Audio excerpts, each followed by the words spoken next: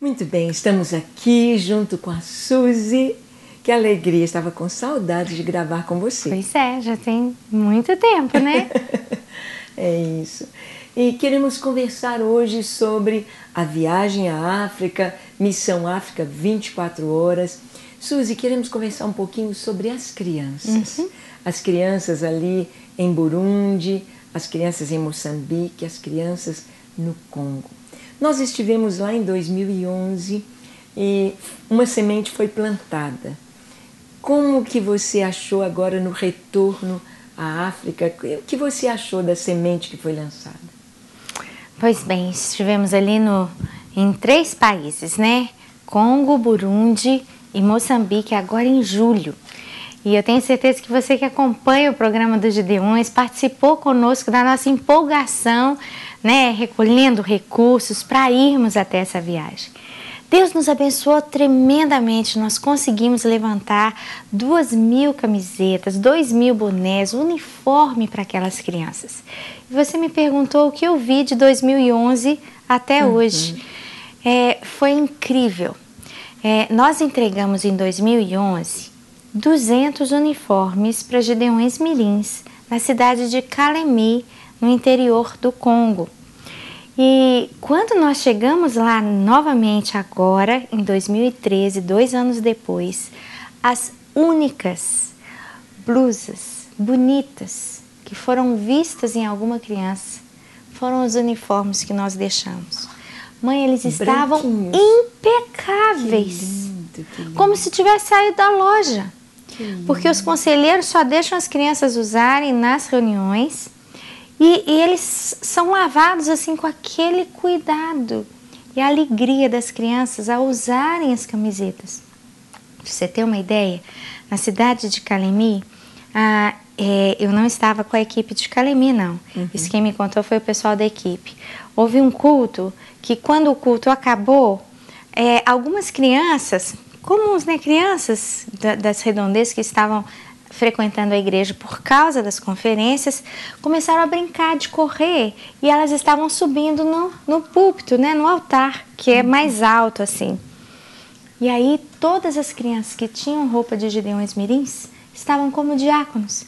Então, várias crianças, vários Gideões Mirins subiram no altar e começaram a falar: não pode subir, o altar é um lugar, de, é um lugar santo. Como que você está correndo dentro da igreja? Olha e as crianças, que eram Gideões Mirins, chamavam a atenção das outras crianças, coordenando para não ter bagunça dentro da igreja. Que lindo! Né? Então, você vê que elas é, é, já estavam com aquela responsabilidade. E as crianças lá na, lá na África, aos sete anos de idade, elas recebem um presente. A mãe, no dia do aniversário de sete anos, pega a criança, seja menino, seja menina, pega pela mão e leva até a beira do rio com uma trouxinha de roupa. E a partir dos sete anos, cada criança vai aprender a lavar a sua própria roupa. Dos sete anos até a, a vida, vida adulta, né? É, cada pessoa lava a sua própria roupa na beira que do rio. Boa ideia, Suzy. Que tal as nossas crianças aprenderem também a, a, aqui Nem que a for máquina apertar de lavar. o botão Sim, da máquina, né? É algo muito importante. É. Meninos ou meninas? E as roupas, mãe, limpinhas. O, o exército havia crescido tanto.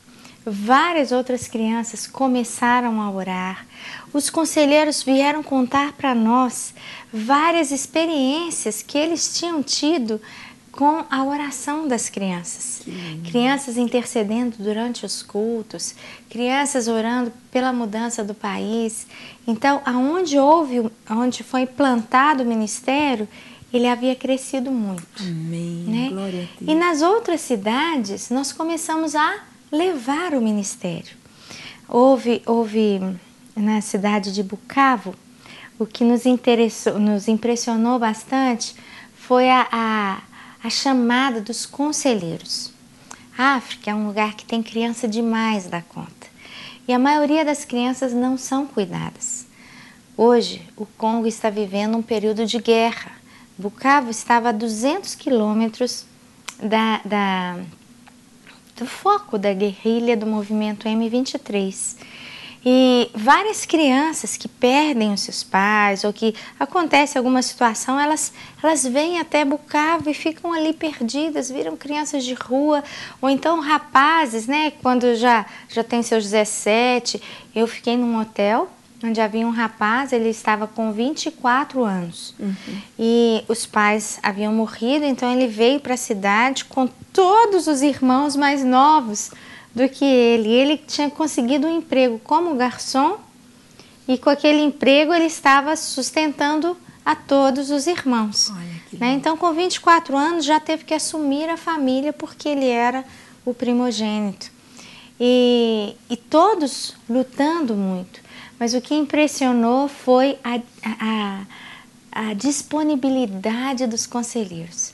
A Igreja Católica mandou conselheiros para estarem fazendo o curso Mandou conosco. jovens para aprenderem a trabalhar, trabalhar, com as crianças, porque não Isso havia. Onde? Qual país? Em Bucavo. Em Bucavo. Em Bucavo. Então nós tivemos quatro conselheiros, né, é, de, de, é, de, de paróquias, né, diferentes é, que foram para aprender a trabalhar com crianças. Pessoas de várias igrejas que foram para aprender a trabalhar com crianças. E eles estavam muito empolgados com essa ideia de que eu posso ajudar a criança a conhecer Deus e a, uhum. e a se tornar um intercessor. Né? Então, essa fome, essa sede nos marcou muito. Que lindo! Ah, eu sei que você deve estar com muita vontade de ver um pouquinho destas crianças que se destacaram ali com as suas camisetas brancas, com a logomarca do Ministério Gideões Mirins, crianças intercessoras, crianças que estão orando com todo o empenho, com seu coraçãozinho derramado diante do Senhor. Você quer assistir um pouquinho do que foi esta viagem?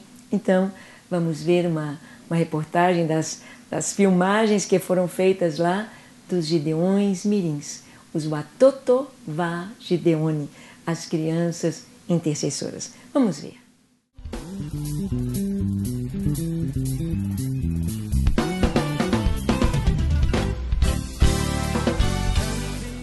A equipe chegou em Calemi e já foi super bem recebida pelas crianças. Dava para ver que o trabalho com os Gideões Mirins seria muito bem recebido. Ao chegarmos aqui, tivemos uma recepção tremenda, maravilhosa, que nos surpreendeu grandemente. E eu senti o grande mover de Deus é, no povo, na, naquela recepção, cantando, nos recebendo alegres, e senti o mover de Deus na vida de cada um de nós. os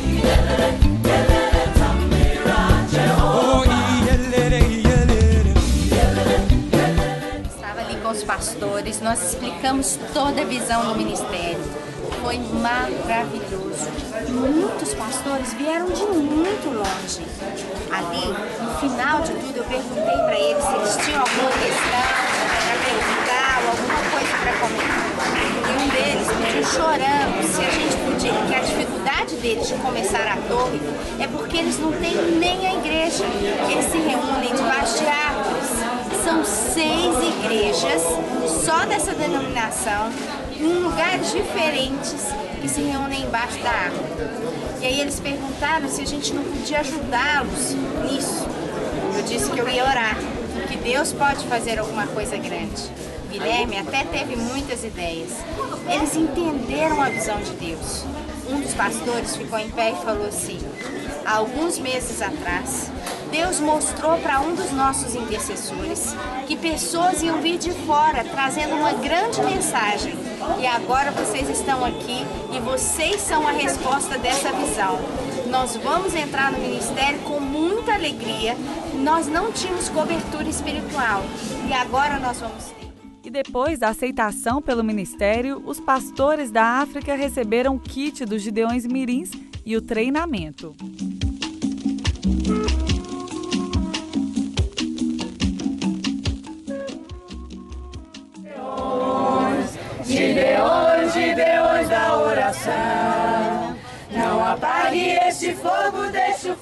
Te queimar.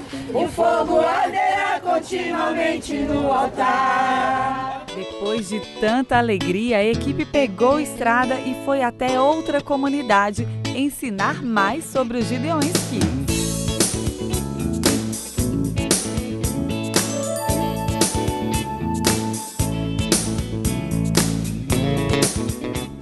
Tá de noite, estamos chegando aqui.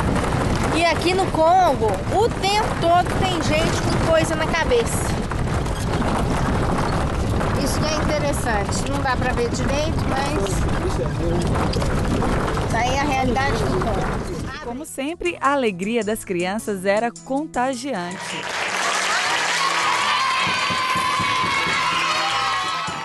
Quando amanheceu, elas já esperavam bem atentas a equipe de Gideões.